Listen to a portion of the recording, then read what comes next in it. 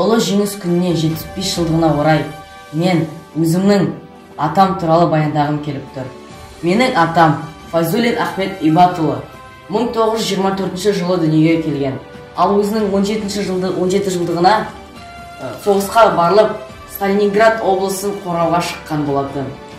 Соғыста ол өзінің адамгершілігін батылдығын қайсарлығын көрсеткен үшін ұлы отан соғысының екінші дәрежелі орденіне ие болды. Ал соғыстан ол 1946 жылы оралған болатын.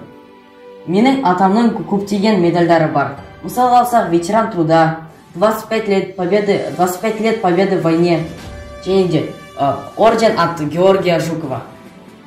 Осы осы медальдарды көріп біз отбасы болып оның ұрпағымыз болып мақтан тұтамыз В этом году мы празднуем 75-летие со дня победы в Великой Отечественной войне.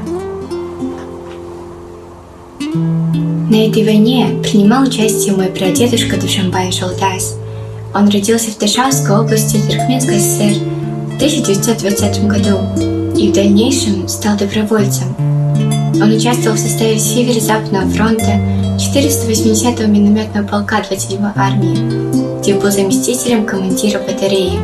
1 апреля 1943 года прадедушка получил тяжелое осколочное ранение в голову от взрыва снаряда, но, к счастью, выжил. Я посвящаю победе в этом жестоком событии свое стихотворение. Предков слезы, пот и кровь на поле боя были пролиты. Пусть зазвучит сегодня вновь бессмертный наш победный марш. Не знаем мы ни горя от утрат, ни голода, ни страха, ни страданий. Всему причиной тот солдат, что даже в свой момент прощальный отдать жизнь за нас был рад.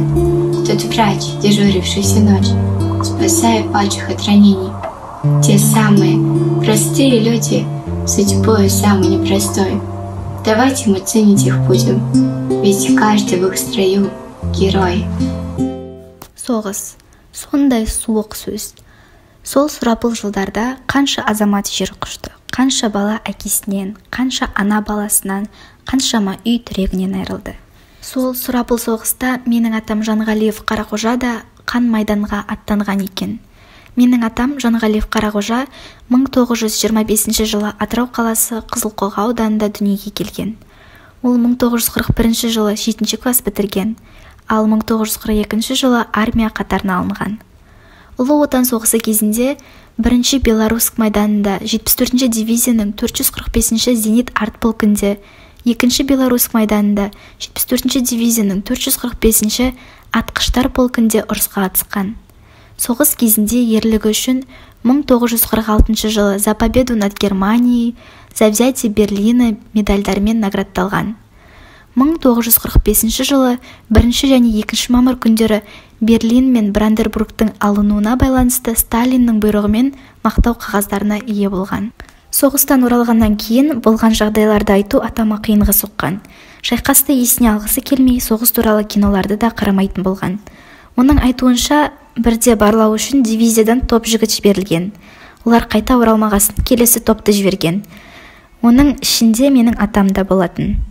Олар жолда маңдайына оқ тиіп жарақатталып мерт болған сол топ жігіттерді кездестіріп сүйектерін әкеліп берген.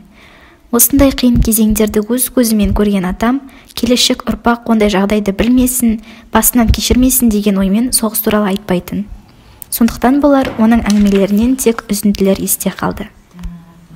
Ұрыс уақытында жаулармен атыс жағдайлар болған. Соның бірінде атам қатты жараланған. Ол достарына әрі қарай жүре алмаймын мені тастап жүре беріңдер деген. Бірақ достары оны қалдырмай көмектесіп алып шыққан. Солайша атам 1950 жылы елге аман сау оралып үй іші қуанышқа кенеліпті. Ауылға келген соң 1950-1955 жылдар аралығында әскери комиссиятында 1955-1959 жылдары мтс мекемесінде еңбек етіп жұмыс жасапты. Оның қайсарлығы мен ұмытылмас тарихын отбасымен бірге мақтан тұтамын.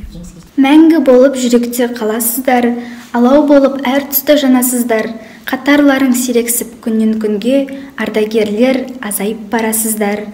Әр көңілде соғыстың мұз ызғары ұрпақтардың жадында мұның бәрі. Ұлы жеңіс мерекесін әкеміздің тойламақшы артындағы ұл қыздары осы болар жанәке бұйырғаны бауырларың өзіңе үйір бәрі. Жеңістің 75-ші жылын қатарыңмен әке сізге тойлау бұйырмады. Осылайша отбасымыз арнайы өлең жолдарын жазып атамыздың өшпес ерлігін еске алып отырады. Мен тәуелсіз еліміз үшін үлесін қосқан атамды мақтан етемін. Ұлы жеңістің 75 жылдығына орай абдрахман асылбектің жеңіс атты өлеңін қабыл алыңыздар. Жеңісті біз жырлаймыз жеңіс дейміз жалауымыз желбіреп көктем күні нұрын түкси елжіреп тап осындай бейбіт күнге жеткізген әкелер мен ағалар ғой ержүрек. Қорқап қалған қаласы мен даласын білеміз бе бабалардың бағасын қан майданда балаңсап анасын келеді деп ана күтті баласын.